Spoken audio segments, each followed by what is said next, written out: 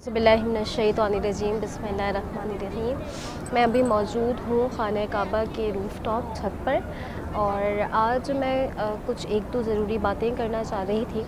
सबसे पहले तो हम ख़वातीन के लिए जो उम्र पर आती हैं और खाना काबा में किस तरीके से हम आसानी से अपना जो वक्त है वो गुज़ार सकते हैं। सबसे पहले तो यहाँ पे है तो अल्लाह का घर, लेकिन ज़ाहिर सी बातें अच्छे बुरे लोग हर जगह होते हैं। उस हिसाब से यहाँ पे भी आपका सामान चोरी होने के बहुत ज़्यादा चांसेस होते हैं। तो सबसे पहले तो आप अपना फ़ोन और अपने जो पैसे और कुछ ज़रूरी कागजात, जैसे पासपोर्ट या कुछ इस तरह है तो उसके लिए आप ले लें अपना इस तरीके का एक छोटा सा क्रॉस पाउच ठीक है? आपको शायद नज़र आ रहा है। और इसके अंदर मैंने ये किया है कि यहाँ पे हैं पैसे। और यहाँ पे है फ़ोन मेरा पासपोर्ट और मेरे जो ज़रूरी कागजात हैं वो मेरे हस्बैंड के पास है, उसकी जो कॉपी है, वो मेरे इस दूसरे बैग में मौजूद है. यहाँ पे बैग पैक मिला करते हैं थैले टाइप के, जो चप्पलों के लिए मखसूस मिला करते हैं, लेकिन अक्सर जो लेडीज़ या जेंट्स हैं, उसके अंदर पानी की बॉटल्स और चीज़ें, अगर ख़वातीन हैं जिनके साथ कुछ सामान होता है, या आपके पास कुछ किताबें हैं रखने के लिए तो मैं आपको रेकमेंड करूँगी एक ऐसा बैग इस तरह का बैकपैक ठीक है? आपको नज़र आ रहा हो ये मेरा बैक पैक है और इसके अंदर जो है ये यहाँ से ज़िप है, जिसके अंदर तीन पोर्शंस बने हुए हैं। एक यहाँ पे है। तो यहाँ पे मेरी छोटी मोटी चीज़ें, जिस तरह टिशू पेपर और स्कार्फ पेंस ठीक है? और मोबाइल से रिलेटेड पावर बैंक इस तरह की चीज़ें आगे रखी हुई हैं। पीछे जो है वो जमज़म के लिए बॉटल उसके अलावा अगर मैं अपने साथ एक चादर रखती हूँ, अगर यहाँ पे रुकना होता है और यहाँ पे जैसे वक्त गुजारना और अगर लेटने की ज़रूरत पड़ जाए मस्जिद में ही तो वो मुझे हेल्प करता है क्योंकि यहाँ पे एसी बहुत तेज़ होते हैं और मुझे एसी सूट नहीं करता है। उसके अलावा इस तरह की चीज़ें आप अपने ये साथ रखेंगे बैग पैक तो आपको बहुत आसानी होगी। कुछ इन्फॉर्मेशन हरम के हवाले से अगर मैं देना चाहूँ तो हरम में पहले तो बाब फ़हद के सामने एक वॉशरूम हुआ करता था सेवन सी के नाम से और वो इस वक्त मौजूद नहीं है रेनोवेशन चल रही है। हो सकता है कुछ टाइम में हो जाए। अभी मैं यहाँ अक्टूबर 2019 में मौजूद हूँ और नवंबर 2019 से स्टार्ट होने वाला है। अभी तक तो नहीं चल रहा है, लेकिन आगे हो सकता है कि चल जाए। लेकिन अगर आप अब्दुल अज़ीज़ गेट की तरफ़ से जाएँगे तो वहाँ पे फोर और फाइव नंबर के जो वॉशरूम है, वो लेडीज़ वॉशरूम है।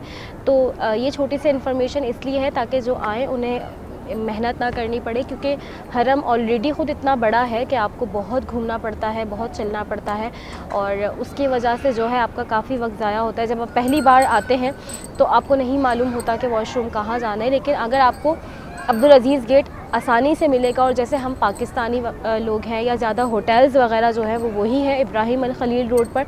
और इब्राहिम अल खलील रोड से जब हम हरम की तरफ़ आते हैं तो बाबी अब्दुल अज़ीज़ है और बाबी अब्दुल अज़ीज़ की ही तरफ़ जो है वो वॉशरूम मौजूद है। इस वक्त बाबी अब्दुल अज़ीज़ बंद किया हुआ है रेनोवेशन की वजह से, लेकिन दरवाज़े का नाम फिर भी आपको बाहर पता चल जाएगा। और उससे अलग बात यह है कि नीचे अक्सर जगह जो है वो ख़वान के लिए नहीं मिला करती है। तो आप फ़हद गेट के साथ में एक स्टेयर्स ऊपर आ रही हैं। आप वहाँ से ऊपर आ जाएँ, वहाँ पे आपको फोर स्टेयर्स जो हैं, वो चढ़नी पड़ेंगी, चार सीढ़ियाँ चढ़नी पड़ेंगी और उन चार सीढ़ियाँ चढ़ने के बाद जो है फ्लोर आ जाएगा और आप जब सीधे हाथ पे जाएँगे तो पहला ही थोड़ा सा आगे ही पहला जो अलग से एक पोर्शन बना हुआ है, वो लेडीज़ का पोर्शन है। अक्सर वो अक्सर आप देखेंगे कि नीचे इतना रश है कि जगह नहीं मिल रही है ख़वान को नमाज़ पढ़ने के लिए, लेकिन जब आप ऊपर इस जगह पर आएँगे तो यहाँ पर जगह मौजूद होती है। उसके अलावा सबसे जो मेन लेडीज़ के लिए मैं इंफॉर्मेशन देना चाहूँगी वो है बोसा देने का वक्त हज असवद को। और यहाँ पे आज से मैं डेढ़ साल पहले आई थी 2018 में आ, मैं आई थी रमज़ान में। तो वो जो रमज़ान था उसके अंदर जो है वो पाँचों वक्त लेडीज़ के लिए लाइन लगा करती थी मतलब पाँच अजान से पहले। नमाज़ नहीं, पाँच अजान से पहले। लेकिन इस वक्त जो है, इन्होंने लेडीज़ के लिए टाइमिंग चेंज कर दिया है और सिर्फ़ जहर और फजर कर दिया है। तो जहर में मुझे मौका नहीं मिल पाया है, लेकिन अल्हम्दुलिल्लाह फ़जर में जो है, मुझे एक से ज़्यादा मरतबा मौका मिला है। और वो मौका आपको बहुत हिम्मत से करना होगा, जो एजड ख़वातीन हैं मैं, अगर आपके साथ हैं कोई तो मैं कहूँगी कि आप उन्हें लेकर हरगिज़ ना जाइएगा क्योंकि पहली बात तो वहाँ पे आपको डेढ़ दो घंटा खड़े रहना पड़ता है। उसके अलावा, नहीं तो कम अज़ कम एक घंटा तो आपको लाजमी खड़े रहना पड़ेगा। उसके अलावा वहाँ पे धक्कम पहले इतनी होती है। लोग एक दूसरे को दबा इतना रहे होते हैं, एक दूसरे से आगे जाने की कोशिश में इतना होते हैं कि आपके लिए बड़ा मुश्किल हो जाएगा, अगर आपके साथ कोई एजेड खातून मौजूद है। अगर आप जवान हैं, आपके साथ कोई हेल्थ इशूज़ नहीं है, आपको कोई ऐसी बीमारी नहीं है इस्तेमा हार्ट पेशेंट क्योंकि इस तरह के लोग इस तरह की चीज़ों में नहीं खड़े हो सकते हैं। तो आप नहीं जाइएगा लेकिन अगर आप एक इस तरह है, थोड़ा बर्दाश्त कर सकते हैं, और अगर आपके साथ कोई छोटा मोटा मसला है, लेकिन आप फिर भी बर्दाश्त कर सकते हैं तो आप फजर में यहाँ पे इस वक्त जो है, आगे के टाइमिंग्स का मुझे नहीं मालूम, लेकिन इस वक्त जो फजर है, वो तकरीबन हुआ करती है पाँच बज के दस मिनट पर। लेकिन आप अगर मैं अभी तक लाइन में लास्ट टाइम खड़ी हुई थी पौने तीन बजे, और मेरा नंबर जो, नंबर मेरा नहीं, वो तकरीबन साढ़े चार बजे ही लेडीज़ के लिए लाइन खोला करते हैं। मतलब बोसा दिलवाना शुरू किया करते हैं। लेकिन जब चार बजे तहजद होती है तो उस चार बजे तहजद से पहले मर्दों की सफ़े बनना शुरू हो जाया करती हैं खाना काबा के पास, ठीक है? साढ़े तीन, पौने चार बजे से। तो वो जो साढ़े तीन, पौने चार बजे से पहले का वक्त है, आपको उसमें आकर मुलतज़म के पास खड़े हो जाना है खाना काबा के दरवाज़े और हजर असवद के बीच की तरफ़ खड़े हो जाना है और वहाँ आप देखेंगी कि लेडीज़ कसीर तादाद में मौजूद होंगी। आप कोशिश करके हजर असवद की तरफ़ जो लाइन बन रही हो, उसके अंदर खड़े हो जाएँ, थोड़ा आगे की तरफ़ होकर।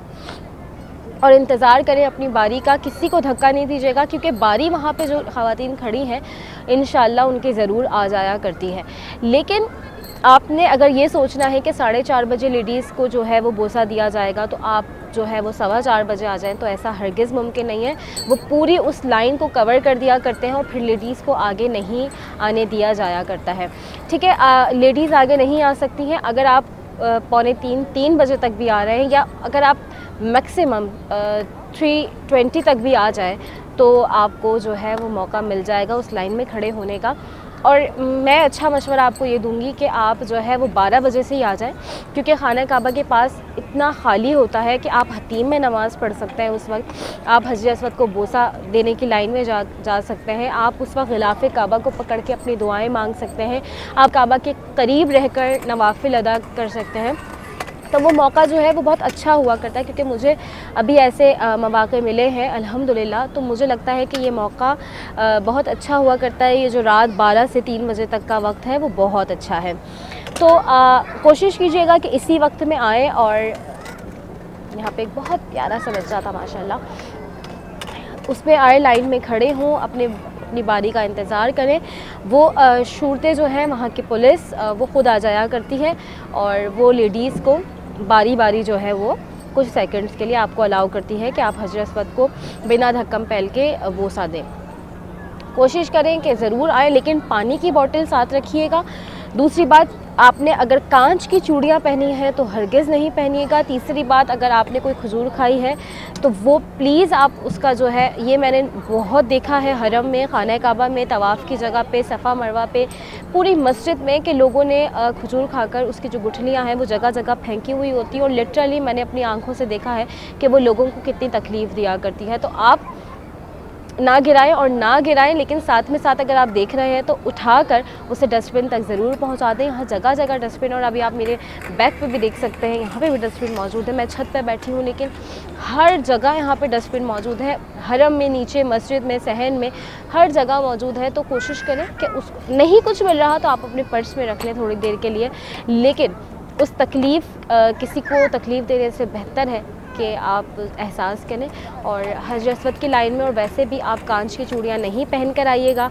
उसके अलावा जो है वो इस तरह की कोई भी चीज़ जो दूसरे को तकलीफ़ दे सके, ईज़ा पहुँचा सके, उससे परहेज़ कीजिएगा पहनने से।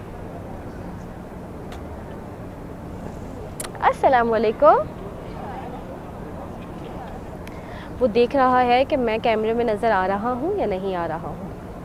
आज की छोटी सी इन्फॉर्मेशन थी और आई होप कि आपके लिए अगर आप हरम आ रहे हैं तो आप या आपके कोई जानने वाला आ रहा है तो उसके लिए बहुत हेल्पफुल साबित होगी, क्योंकि ये छोटी छोटी इन्फॉर्मेशन हम खातन के लिए बहुत ज़रूरी है और जब भी आप आए आप में से कोई आए या आप किसी को ये वीडियो रेकमेंड करें तो प्लीज़ उन्हें कहिएगा कि मुझे अपनी दुआओं में याद रखें मुझे मेरी फैमिली को, अल्लाह पाक मुझे, मेरी फैमिली को, आपको, आपकी फैमिली को बार बार हर साल साल में कई बार हजूर पाक सल्लल्लाहु अलैहि वसल्लम के दरबार की और अपने दरबार की बाअदब और कबूलियत वाली हाजिर नसीब करें। अल्लाह हाफिज़।